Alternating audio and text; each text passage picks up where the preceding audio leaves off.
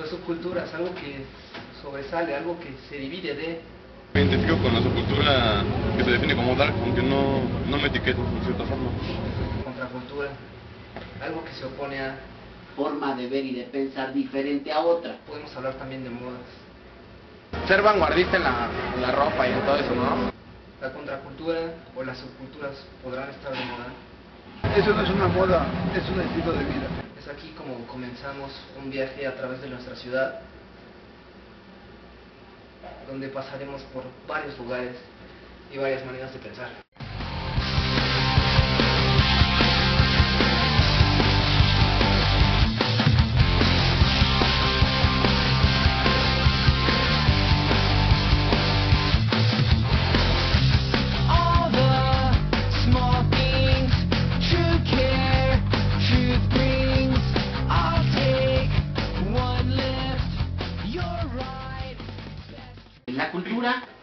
El- la acumulación, el bagaje que eh, conceptualiza toda una sociedad dentro de, de un esquema nacional.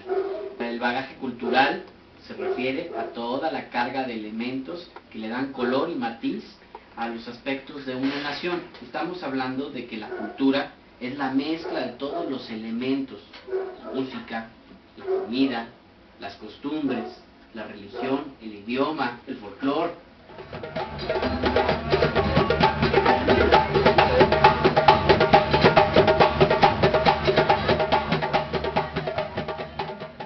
Básicamente la podemos definir como su nombre lo indica, algo que está en contra de la cultura, opuesto a lo establecido por la sociedad que marca los límites de la actuación de cada sector de una cultura determinada, mismo que pretende quebrantar lo establecido.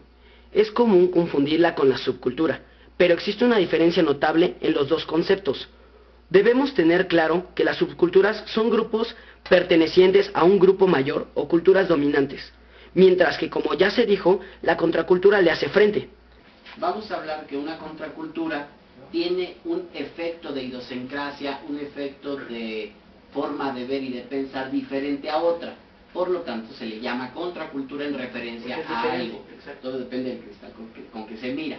No, una contracultura no lo es en sí misma, este, porque no podemos hablar de que las culturas sean positivas o negativas. Son. Soy Adjael, Adjael, soy Dar. Este, Dar viene de Inglaterra. Todo eso significa, muerto en vida, que significa estar en contra del sistema social. El Dar inicia en Inglaterra, estoy hablando de 1800 años antes de Cristo. Las botas, símbolo de botas, era que usaban los mineros de la clase baja, la clase humilde. Después viene el pospón, el pon, los visigodos, después ya viene el punk, el punk inglés, y después viene el dar, y somos hijos de los puntos. comienzo yo creo por finales de los 70 en Europa principalmente y uno de los principales exponentes son los Sex Pistols que puede ser puedo explicarles como la inconformidad del- de la sociedad marginada hacia la monarquía.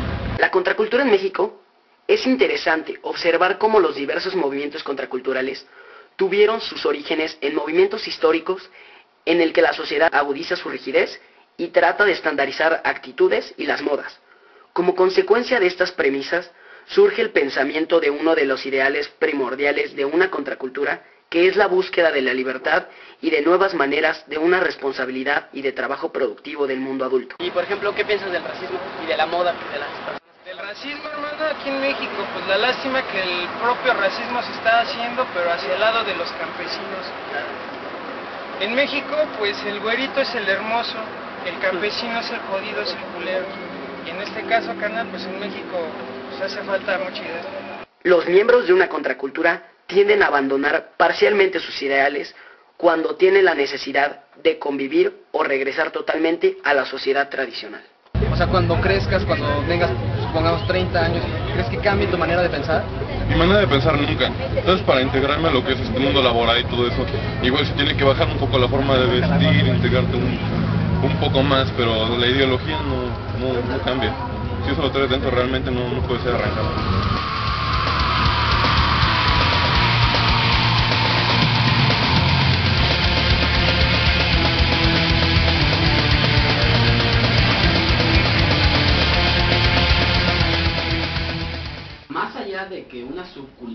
Afecte a una cultura, pues tenemos que pensar que un subconjunto forma parte del conjunto. Claro.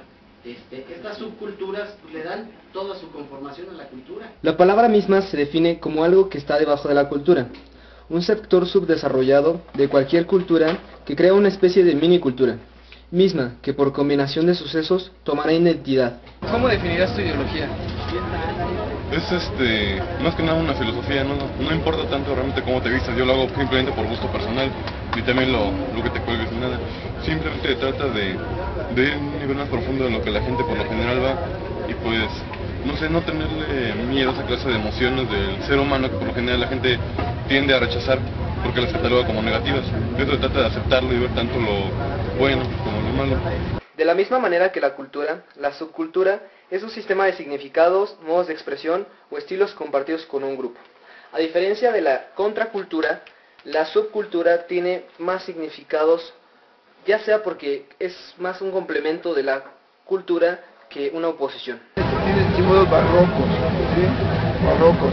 Se divide en cuatro ramas, que es satanismo, vampirismo, que es de vampirismo, nazismo, que es el nazismo, que es la Gestapo, igual que este, que la guardia secreta de Hitler, y la muerte, que es la Santa Muerte. Una subcultura, como se ha dejado en claro, es un grupo de individuos que pertenecen a un grupo mucho mayor, pero generalmente difieren en alguna manera o con lo que buscan romper. Sin embargo, es vital resaltar que a pesar del intento de las subculturas por desviarse de la sociedad y de su cultura, no pueden evitar contener elementos de la clase principal o dominante.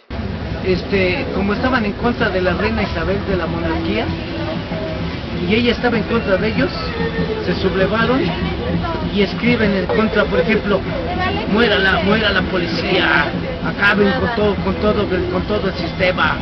Y se, y se inventa el baile que se llama el slam, que quiere decir golpe, creado por uno de los integrantes del grupo de los Sex Pistols, Johnny Rotten, y su cabeza, Sid Vicious.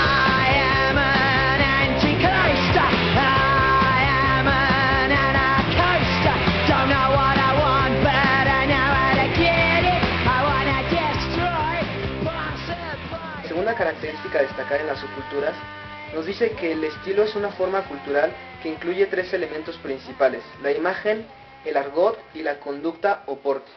El vestirse así no nomás es por vestirme. Cada cosa tiene significado. Si ves esto, es iniciación al vampirismo. Igual que esto. Eso es elegancia. Estar muerto en vida. Otra característica importante de una gran cantidad de subculturas es el tipo de música que escuchan. En repetidas ocasiones, un género específico de música funciona como vía de expresión y pertenencia para estos subgrupos. Por ejemplo, un Dark, él escribe lo que es lo que él ha sufrido, lo que ha vivido en su vida, ya sean cosas buenas, cosas malas. Y eso lo entonces al escribirlo lo interpreta y entonces eso es lo que se llega a cantar. Por ejemplo, está Robert, de- de Robert Smith de The Cure. Entonces ellos, ellos exactamente, ¿verdad? Ellos expresan su forma de ser